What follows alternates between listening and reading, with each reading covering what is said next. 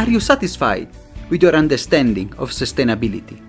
If you are not, imagine a journey together, a pluralistic one, with academia, innovators, startups, NGOs, all looking for solutions to the greatest challenge of our time. My name is Samuele Tini, and this is the Sustainability Journey.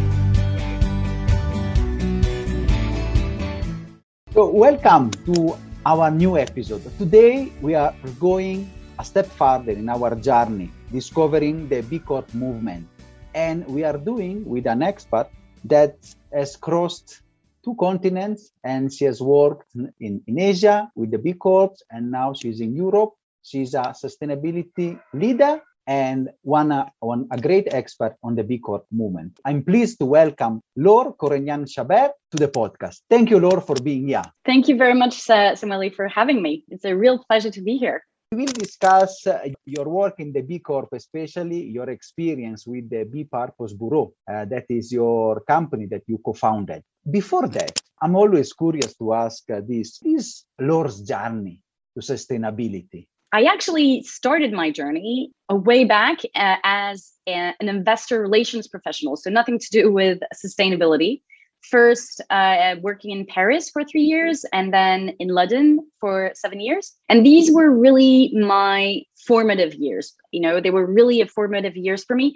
But eight years in, I kind of had the feeling of deja vu creeping up and that coincided with the birth of our first child. And then shortly after that, we had our second child. And when I went back to work, I felt sort of out of place. And not just because I was the youngest mom at the firm there.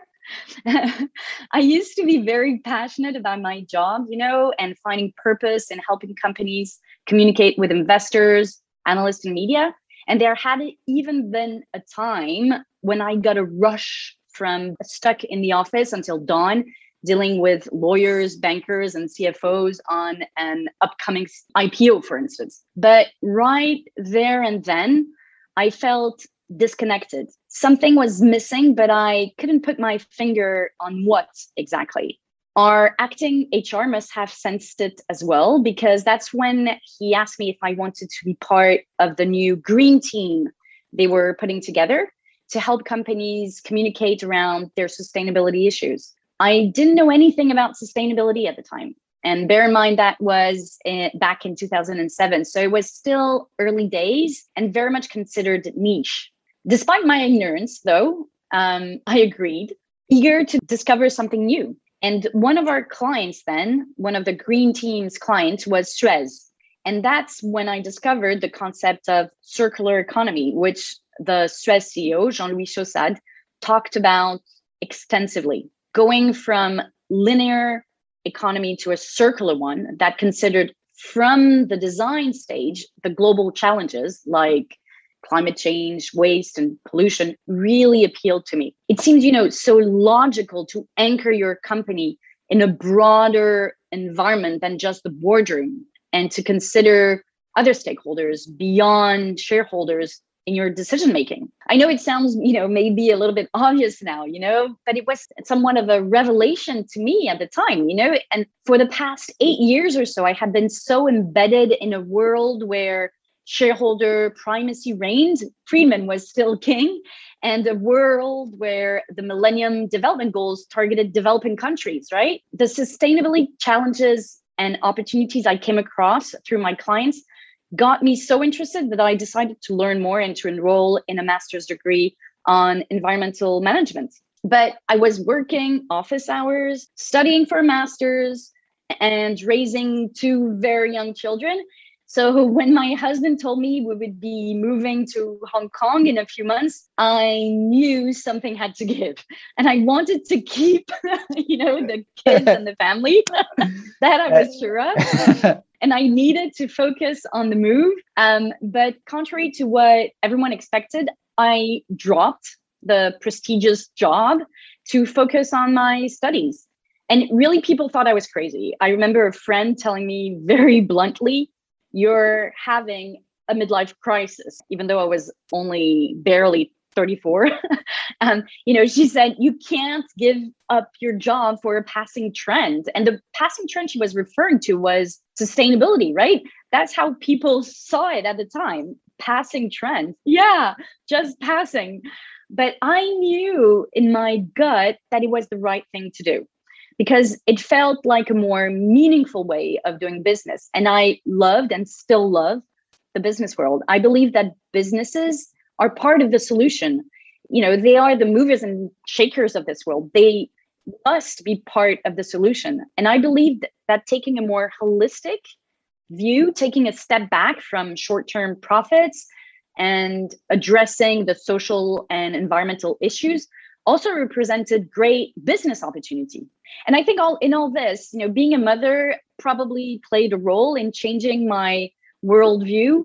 I know it sounds a bit cliche, but I wanted to be able to look my children in the eyes and say, I tried, at least I tried to do my little part to make this world a better place for you and your children. Uh, overall, I think, you know, I, like others before me, had come to the realization that stakeholder focus could be a win win solution, which delivers benefits both to society and to shareholders. What I hadn't realized, though, was that the country we had just moved to, Hong Kong, was far from there yet. Some, you know, slash most of my friends already thought I was crazy, but for having chosen, you know, the sustainability path over a career in financial comms. But for Hong Kongers, I was straight up bunkers, you know. You know, you can see a pioneer in your life because you pioneered sustainability. Yes. And then when you were starting to become, then you went also to preach, let us say, in, in foreign land, using old metaphors. Yeah, you're absolutely right.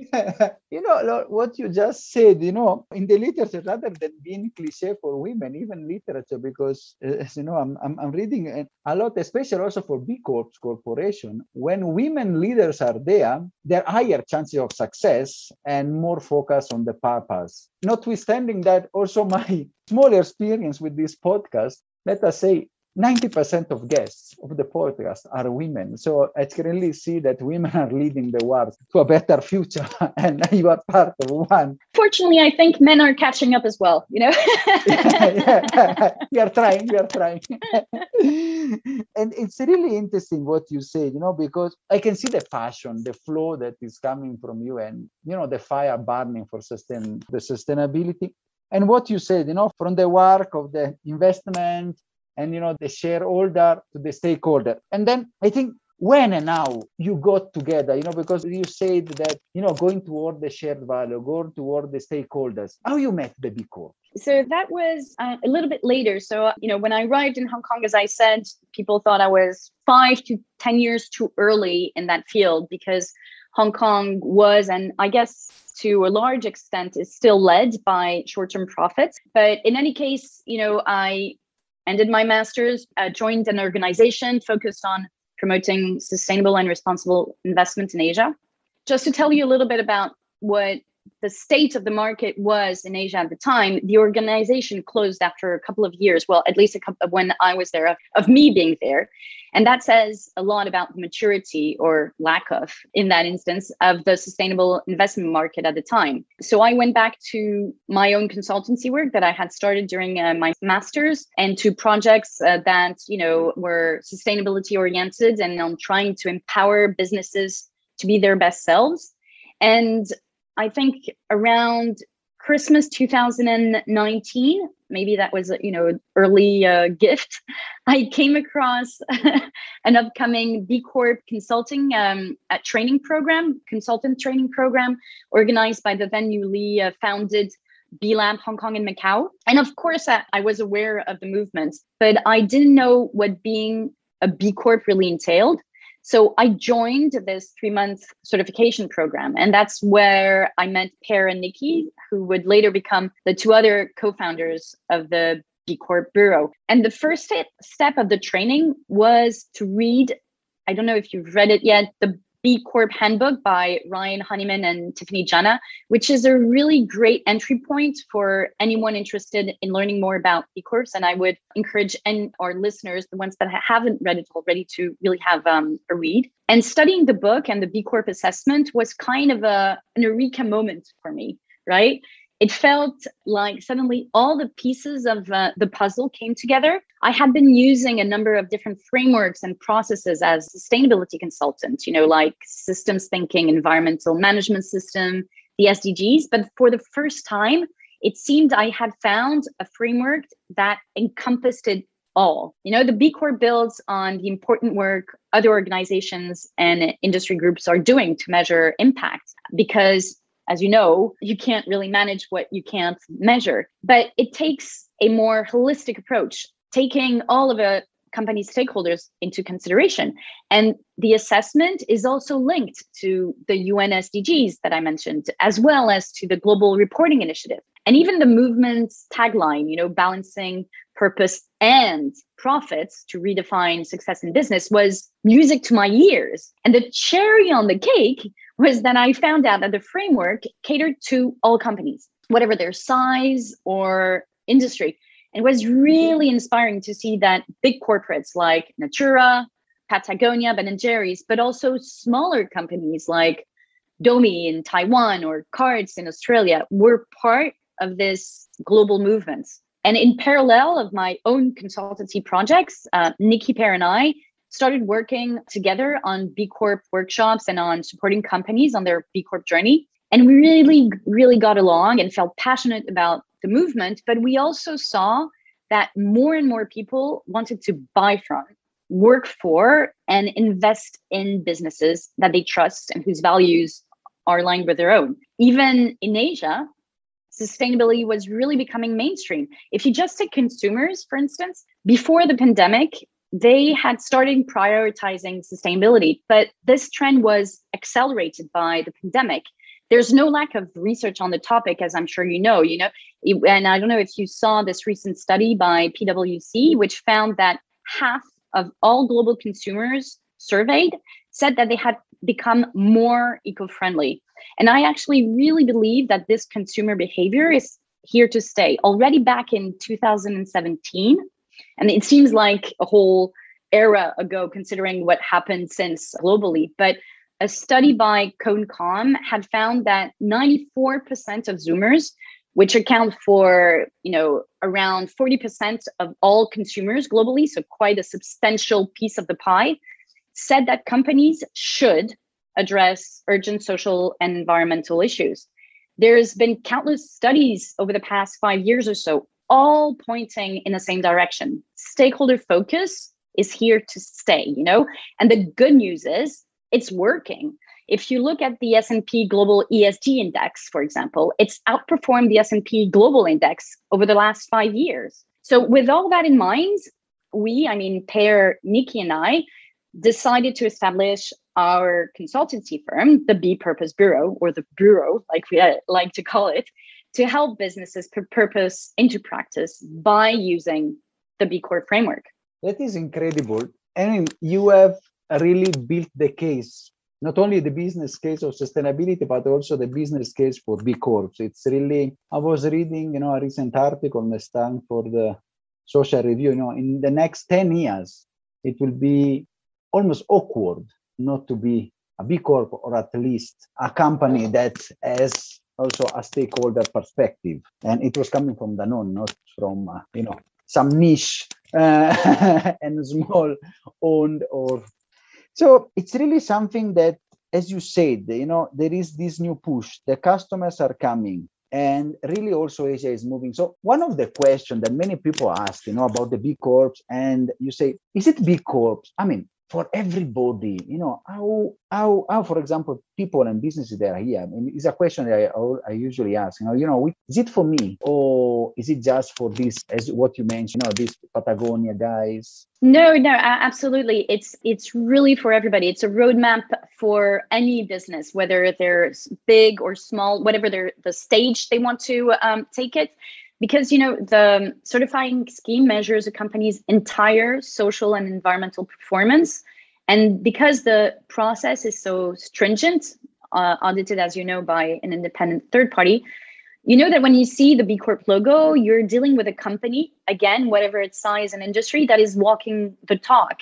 And we often get asked, is it easy to become certified? You know, these startups and these companies, whatever their size, come to us after hearing about it, and is it easy to be- become certified? The short answer is no. it's really a demanding process. It requires time, effort and long-term commitment especially because you know you must recertify every 3 years but that is a good thing you know as a consumer it means that you can really trust a brand when you see the B logo it's sort of a badge of honor and as a certified B corp you get customer recognition and you build customer loyalty. I think B Corp is an antidote, right, to greenwashing and purpose washing, a way of telling a good company from good marketing. And certifying as a B Corp is really a powerful way to build trust and credibility for your business. The hard work, because let's not, you know, uh, lie to ourselves, it is very hard work that you put into this continuous journey of improvement also translates into stronger employee engagement and attracting new talent. And given the current increasing resignation rates we're seeing across the globe, the great resignation, as they're calling it, attracting and retaining talent is a particularly hot topic. And if you take Patagonia, for instance, they said last year that they received more than 9,000 job applications for every single internship position. And that's a really nice problem to have, especially nowadays, right? but other businesses, smaller businesses like Palo IT, a tech firm in Hong Kong, also told us that they had seen an increase in job applications since they had become a B Corp. And another perk of being a B Corp, and that's, I think, you know, works for companies of all sizes as well, is that you draw attention from investors whose values are aligned with your own. Some funds actually now use the BIA to assess potential investees. But, you know, investors are starting to see the value in B Corps. And sure, they absolutely understand the importance of talent attraction and retention, particularly millennials but they also appreciate the greater transparency they have through access to operational sustainability or impact data that are not generally shared in financial statements right? Or they also appreciate the fact that the framework allows to benchmark companies and compare apples with apples. And i think another tangible benefit we've been seeing with our clients is that going on a B Corp journey forces you to think outside the box a little bit. And this in turn can lead to innovation. One of my clients, Stella at the time, explained how incorporating the commitment they had made as a B Corp in the production process had led to innovation and actually a whole new range of products. It really helps you to think differently. And I don't know if I've mentioned, but I think, you know, there's a free online tool that anyone can access. So if you're out there and listening, I would really encourage you to have a look at this very practical tool. It's free. So it's a system and it's called the B Impact Assessment, BIA, and it recognizes the positive impact you have. But it also helps you to find new ways of creating that impact. So when we go through the BIA with our clients, we always come across low hanging fruit, easy ways for them to improve. And it could be mm-hmm. as simple as implementing a code of ethics policy or e-waste policy or setting targets for volunteer hours, you know? So there are lots of easy ways to improve. And then there are harder ways to improve when you look at more the impact business model you know so operational versus business model. That's where you create the most impact. And i think uh, the last benefit of being a b corp that i'd like to share with you today is because that's one that we hear over and over from b corps it's that you join a global community of like minded businesses, a community of visionary leaders that support each other. It's really a complete door opener. So again, if you're a small company looking, you know, for support, but even if you're a big company and wanting to drive that further, you're part of a big community that all look in the same direction. And I think that's very important. So, you know, that was a, a long answer for a brief conclusion. Yes, the B Corp is for everyone, and it's a great roadmap for any company, even if they don't want to get certified. Thank you so much. I mean, it is a very comprehensive and very strong uh, argument for B Corps. I mean, and it's really also within the literature because it's really something that now we have seen. And it's not just, uh, you know, wishful thinking is based and backed by number and the practice. And although you say this hard, is now a path that is worth taking and working. I want to, I mean, if possible, to to dig a little bit deeper, you know, in your experience as a practitioner. No, can you tell us? I mean, now I got excited. I mean, I'm there. I'm almost jumping and thinking and taking the journey and going towards the question that to reach, which, as you said, is not ticking box, but really transforming. Can you give me some of your experience, site experience as a practitioner? You know, where are the most difficult part which are also, you know, the good part So, you know, just to prepare myself. So I think let's start with the easy part. I think the easiest part is probably the to improve on your operational impact through the day-to-day operations of your business. You know, like setting up a recycling policy for your employees to follow, but taking it to a higher level, that's what is sometimes difficult to have you know an impact business model. And that's about creating impact as a business. I'll give you an example uh, of a company that does that. It's Allbirds. They produce and sell products. So they make profits. It's really within their business model. They make profit out of producing and selling products made from recycled materials. And that's you know the biggest impact. And that's where companies find it sometimes harder because sometimes they come to us and they think they have everything figured out. I remember a client once said, you know, uh, we have recycling bins in our offices and we go uh, once a year, we do beach cleanups. We should be able to certify. Actually, no, you know, it goes a little bit beyond that. That is, those are very good steps. And, you know, please do continue to do those. But B Corp is about, you know, going the extra mile and taking steps a little, you know, further. So it is about the business model and really embedding all those values and the purpose into your business. Not it's not just about the operational changes that you need to make as well. It is very, very, very interesting. So it's really a journey as a transformation. It's really matches also some other interviews that we had. You know, we have these very nice things, uh, yes, but how much is matching your revenues? So as you say you know how is going deeper? So it's an holistic what you say i like the word they have used an holistic approach towards operation and all the way you you plan. Absolutely. And, and just to add something to that, I think um, one of the things that our client find sometimes difficult and that the, the BIA or the framework really helps with is to be coherent in everything that you do. Because sometimes you do things in one area and but they're not necessarily linked to what you're doing in another area. And the framework allows you to take a step back and think okay so we're doing all these great things but how can we actually put them together in a more meaningful way and it allows them to take a step back and we help them do that to really find their purpose. Why do we want to do those things? Why are we have we been doing those things? And do those things make sense actually for us? Or should we change um, what we're currently doing? Because sometimes you know it's there but because it's been there forever and nobody has questioned it because it's been doing good right?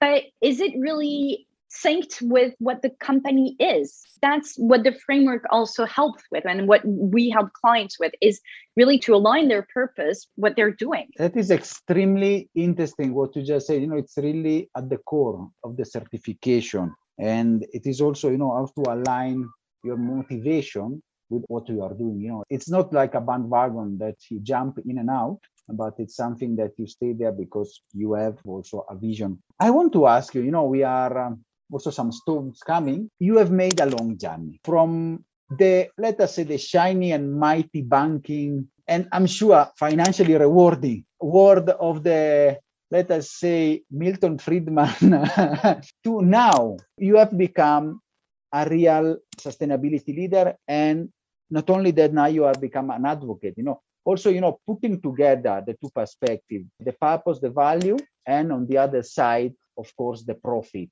Can you share some insight some lesson learned in, in, in all this journey, in Laura's journey? Yes. I think one of the big lessons for me was to go with your gut and you know follow your passion and really don't give up i found that staying true to myself has really helped me uh, overcome the many hurdles i came across and i think whether it's an individual or a company you will encounter bumps on the roads this is not an easy journey to take but a purposeful journey will always be meaningful and I think very rewarding. And also, I think, you know, another message is that so I've been a professional for more than uh, 20 years now, and it's no longer enough to be different. A company really needs to be making a difference now. Uh, if you want to do business for good, or like in the B Corp community, uh, we say be the best for the world, not just in the world. Um, again, I would encourage our listeners to take a look at the B Impact assessment tool online.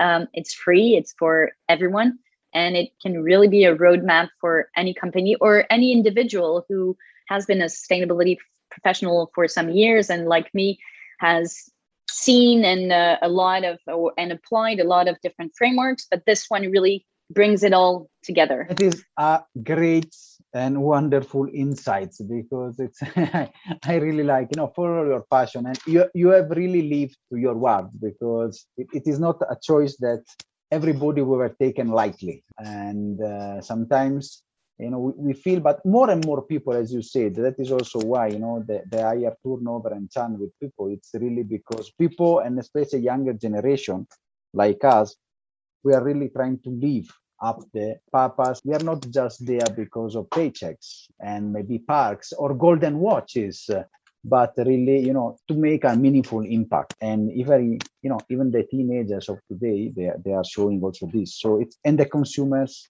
and even people see is, is recognizing it. What I love the most, it's your passion, your energy. You are not just you know there to discuss you are there even from a screen. You can perceive the energy that is coming out and you believe your work and really you are trying to work for the benefits of the B Corp movement. Thank you so much Laure. That's fantastic. Thank you very much for having me. That was a real pleasure. Thank you Laure. Wonderful are you satisfied after this wonderful episode? Let's continue together our sustainability journey